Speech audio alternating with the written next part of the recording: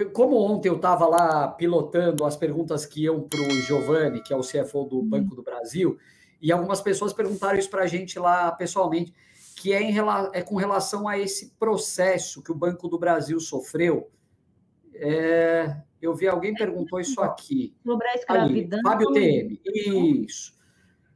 Isso pode impactar nossos dividendos? É aquela história. O Fábio, em primeiro lugar, né? A, a justiça, por mais que você não concorde, muitas vezes você tem que acatar. Isso foi uma demanda do Ministério Público e o banco vai responder.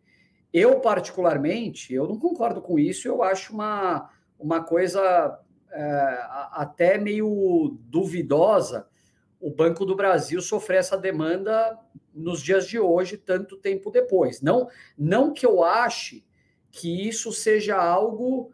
É, é, é quando eu digo isso, é não estou compactuando com qualquer prática é, relacionada à escravidão ou coisa parecida. Mas se o Banco do Brasil recebeu uma demanda como essa, inúmeras outras empresas deveriam receber demandas parecidas, na minha visão. E não parece ser o caso. Então, é, eu particularmente acho que isso é, não é algo relevante em termos de, de impacto no balanço do banco, e eu acho que impacto nos dividendos menor ainda. Então, eu, como acionista, não é algo com que eu me preocupe. Assim, eu não acho que isso possa trazer um pênalti significativo financeiro, até porque, se for algo que, à medida que for avançando um processo como esse, é, isso vai aparecer no balanço, né, pessoal? Então, a empresa, conforme é, vai se aproximando ali, vai, vai, vai passando de instâncias diferentes e fases do processo diferentes, ela acaba sendo obrigada até a provisionar algo como isso. Então, hoje, isso não está ainda está muito longe de algo parecido com isso, e mesmo que ela venha a ter que provisionar no futuro, ou seja, seja condenada, é, eu não acho que seria uma condenação que a ponto de impactar drasticamente resultado, ainda menos dividendo.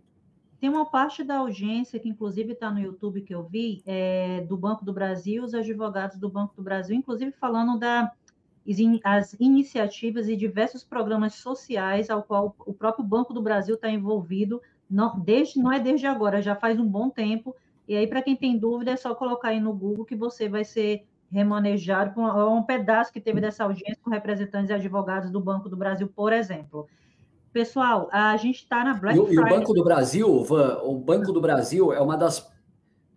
Eu não diria tão poucas assim, vai, mas é uma daquelas empresas que você seleciona a dedo que realmente coloca o tal do ISD em prática. Isso a gente vê você pode falar qualquer coisa do Banco do Brasil, menos que isso não é uma prioridade lá dentro. Assim, eu tive presencialmente no último BBD e, e, e se fala muito assim de cuidado com as pessoas, respeito, diversidade e tal. Então são coisas levadas muito a sério. E eu tenho certeza que eles vão levar esse processo a sério.